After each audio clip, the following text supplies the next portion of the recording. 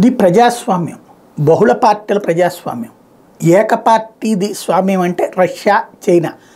ద్విపార్టీ ప్రజాస్వామ్యం అంటే America Britain లాంటి దేశాల్లో ఉంటుంది. దానివలన అదొక మినీ నియంతృత్వాలే.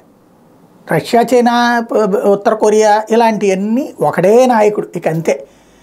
అంటే వాడే ఇక ఒకటే పార్టీ దిక్కు ఉండదు ఈ రెండిట్లో వీడు కాకపోతే ఆడు ఆడు కాకపోతే ఈడు తప్పించి దిక్కు ఉండదు ఈటిట్లో బట్ బహుళ పార్టీలు ఉన్నటువంటి చోట్ల ఒక రకంగా మంచి ఉంటుంది. ఎందుకని? ఈడు కాకపోతే ఆడు కాకపోతే మూడోవాడిని ఎన్నుకునేటువంటి స్వేచ్ఛ ఉంటుంది.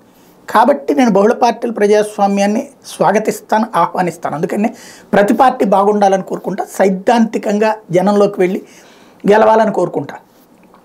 తెలుగుదేశం పార్టీ బాగుండాలి? జనసేన బాగుండాలా? అలా కమ్యూనిస్టులు బాగుండాలి? కాంగ్రెస్ బాగుండాలా? భారతీయ జనతా పార్టీ బాగుండాలి? అందరూ బాగుంటేనే వాళ్ళ వాళ్ళ సిద్ధాంతాలు వాళ్ళు ఏం చెప్తారో ఏం చేస్తారో ఏం చెప్తారో జనాలకు తెలిసి వాళ్ళు దానికి అనుగుణంగా ఓట్లు వేయాలని కోరుకుంటా ఇదంతా ఇప్పుడు మళ్ళీ ఎందుకు గుర్తు చేస్తున్నానంటే తెలుగుదేశం పార్టీ తెలు- అటు పక్కన జనసేనతో పొత్తు పెట్టుకుంది ఇటు పక్కన భారతీయ జనతా పార్టీ కూడా పొత్తు ఖరారైంది వాళ్ళ పార్టీ వాళ్ళే చెప్తూ ఉన్నారు. దాదాపుగా కన్ఫామ్ అయిపోయినట్టే అన్నటువంటి.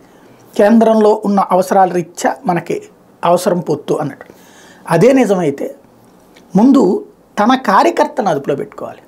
పవన్ కళ్యాణ్ అమ్మనాభూతులు తిట్టినటువంటి వాళ్ళు నెగిటివ్గా ప్రొజెక్ట్ చేసిన వాళ్ళు గతంలో Telugu Desam party social media even మొన్న ఈ మధ్యన ముఖ్యమంత్రిది లేదు అని లోకేష్ అన్నదానికి జనసేనలో కొంతమంది కామెంట్ చేస్తే దానికి రియాక్ట్ అయిపోయి తిట్టిపోస్తున్నది వాళ్ళే. భారతీయ జనతా పార్టీకి తెలుగుదేశానికి అయితే ఉప్పు నిప్పు లాంటి సంబంధమే ఉంది. మోడీని అమ్మనాభూతులు తిడతా రోజు పోస్టులు పెడతా ఉంటారు. ఈవెన్ పొత్తు కోసం చంద్రబాబు గారు ట్రై చేస్తున్నప్పుడు కూడా తిట్టిపోస్తూనే ఉన్నారు.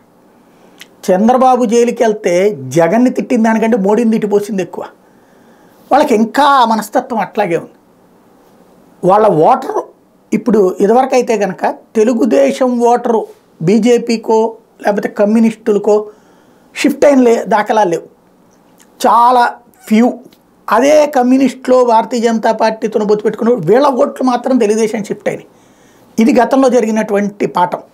కాబట్టి ఇప్పుడు ఈ దఫా మాత్రం రివర్స్లో ఉంది. భారతీయ జనతా పార్టీ ఓటర్ తెలుగుదేశానికి షిఫ్ట్ అవ్వడం అన్నటువంటిది అసాధ్యంగా కనబడుతోంది. బికాజ్ తెలుగుదేశం కార్యకర్తలు గత రెండు వేల పద్దెనిమిది నుంచి భారతీయ జనతా పార్టీని టార్గెట్ చేసి చేసి చేసి చేసి కుళ్ళబొడిచారు.